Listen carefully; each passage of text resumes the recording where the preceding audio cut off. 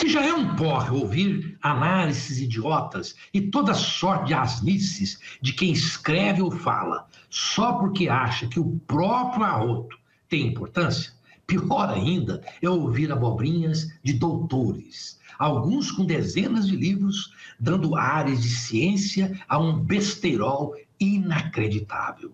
Já encheu ver teorias estapafúrdias sobre as múltiplas vacinas desenvolvidas. De todo o lixo dispensável, dos que falam até sobre um chip na vacina capaz de monitorar se você está de olho na mulher do vizinho, o que faz senso é esperar que as autoridades, para dar exemplo, sejam as primeiras a entrar na fila olho no olho. Chega de papo furado. A obrigatoriedade que chegou atravessando o carro na frente dos bois é tão inútil quanto o voto obrigatório, que é sem nunca ter sido.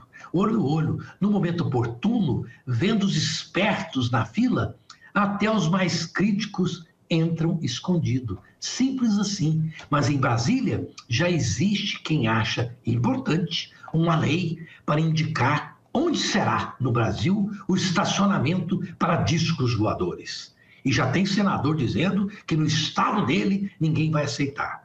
Se a discussão ganhar corpo na internet, está armado o circo para o STF decidir.